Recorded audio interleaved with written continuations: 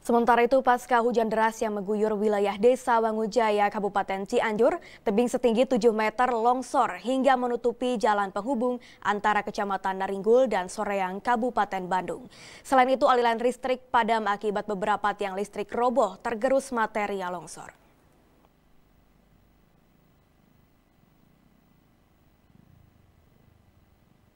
Pasca hujan deras yang mengguyur sejak Sabtu malam hingga Minggu siang di Desa Wangunjaya, Kecamatan Naringgul, Kabupaten Cianjur, tebing setinggi 7 meter longsor menutupi badan jalan penghubung antara Kecamatan Cidaun dan Soreang, Kabupaten Bandung.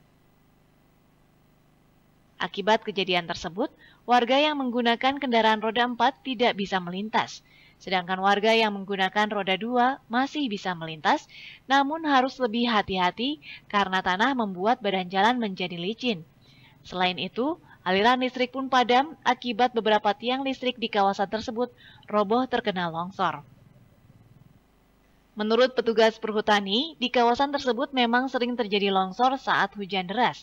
Namun kali ini merupakan longsor yang terparah. Ini sering terjadi seperti ini setiap musim hujan memang ada tapi ya lumayan sekarang yang paling ini karena kemarin hujannya dari kalau di sini hujan deras dari jam 11 sampai jam 19 Hingga minggu sore, belum ada alat berat yang diturunkan BPBD Cianjur untuk mengevakuasi material longsoran. Heri Siawan, Bandung TV.